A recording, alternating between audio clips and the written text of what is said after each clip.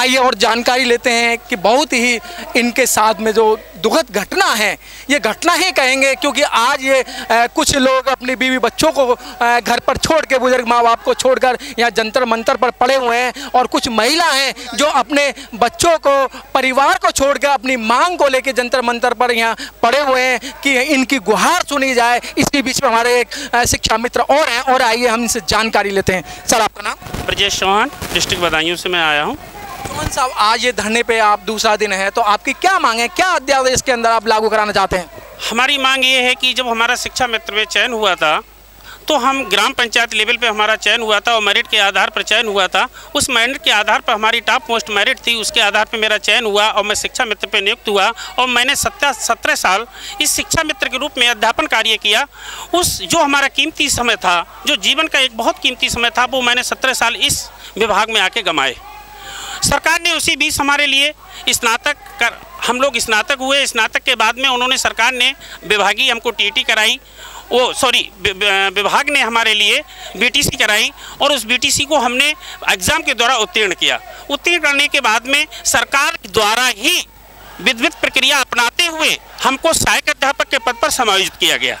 मैं उस सरकार से जानना चाहता हूँ, मैंने खुद उस विभाग पर चयनित नहीं हुआ हूँ। वो आपके विभाग के द्वारा, आपके कानून के द्वारा हमारे लिए चयनित किया गया है मैं ये जानना चाहता हूँ, ये कमी आपकी सरकार की है, आपके सचिव की है, आपने उसमें जो आपने एक प्रक्रिया अपनाई थी, उस प्रक्रिया में क्या कमी छोड़ी, जिसके तहत हमारे लिए सहायक अध्यापक के पद पर भेजा गया, और आज उसमें कुछ खामियाँ रह गई तो इसका दोष ये आम शिक्षा मित्र का दोष नहीं है, इसमें अगर दोष है तो केवल सरकार का दोष है तो सरकार को उन कमियों को दूर करते हुए हमको शिक्षा मित्र के पद से हटाना नहीं चाहिए, हमारी भावनाओं को रखते हुए हमें हमारा मान सम्मान देना चाहिए मैं सरकार से मांग करता हूँ कि सुप्रीम कोर्ट के द्वारा कुछ कमियाँ रह गई। अगर हमारा समायोजन रद्द किया गया है तो उस समायोजन के लिए, उन कमियों के लिए दूर करते हुए अनुसूची नौ के अंदर संशोधन करते हुए एक राज्य सरकार और भारत सरकार एक ऐसा कानून बनाए, जिसके द्वारा हमारा मान सम्मान वापस लिया, लाया जाए। और पुनः आजकल हमारे एक लाख बहत्तर हज़ार शिक्षा मित्र साथियों के आज मेरे चेहरे पे रोना आ रहा है कि मैं उन परिवारों को कहाँ लेके जाऊँ। आज मेरी एज पचास साल होती जा रही है। मैं कहाँ रोज़गार ढूंढूं? मेरी लड़की की शादी होने के लिए बच्चे का एडमिशन होने के लिए, बताइए मैं कहाँ जाऊँ, मैं आत्महत्या करूँ या क्या करूँ, बताइए आप ही मुझे उत्तर दीजिए।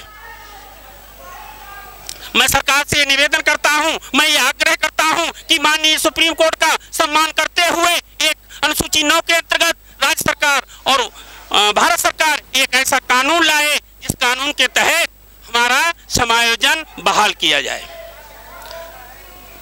यदि ये समायोजन में कुछ कमियाँ रह गई हैं तो मैं सरकार को इस मंच के माध्यम से कहना चाहता हूँ कि जिस सचिवों ने वो कमियाँ छोड़ी है उन सचिवों के लिए उस जेल के अंदर भेजा जाए और उनके लिए भी वही सजा दी जाए जो आज मैं रोडों पे घूम रहा हूँ तो उन सचिवों के लिए भी वही सजा दी जाए। इसमें कमी हमारी नहीं है। मैं निर्दोष हूँ। उन निर्दोषों के लिए ऐसा नहीं है कि सत्रह साल की सेवाओं के बाद उनसे रोज़गार छीना जाए। सरकार का उद्देश्य होता है। सरकार अपने हर संकल्प पत्र में, हर घोषणा पत्र में वादा करती है रोज़गार देने की। आज हमसे रोज़गार छीनने की बात कर रही है। तो एक बार मैं पुनः भारत सरकार और उत्तर प्रदेश सरकार से बात निवेदन करता हूँ कि वो अध्यादेश लाए और हमारे लिए उसमें संशोधन करके सहायक अध्यापक पद पर वापस लाए। दूसरी बात मैं इस मंच के माध्यम से आपसे कहना चाहता हूँ, इस मीडिया के माध्यम से कहना चाहता हूँ कि सरकार कह रही है कि सुप्रीम कोर्ट ने कहा है कि इनके लिए 2019 तक व्यवस्था के तहत रखिए। मैं उनसे जानना चाहता हूँ, यदि मैं अयोग्य हूँ, मैं टीटी नहीं हूँ तो ये बताइए, मैंने 17 साल जिन बच्चों के लिए शिक्षण कार्य से शिक्षा दी है, क्या वो बच्चों के साथ आपने क्यों अन्याय कराया है? आप फिर आगे की मानदेय की बात करते हो तो मानदेय पे अगर मैं शिक्षण कार्य करूँगा तो क्या मैं ये हो जाऊँगा, इन बच्चों के साथ अंतकार नहीं होगा? इसमें मैं कह सकता हूँ कि राजनीति और राजनीति कहीं ना कहीं से इसमें राजनीति की बदबू आ रही है।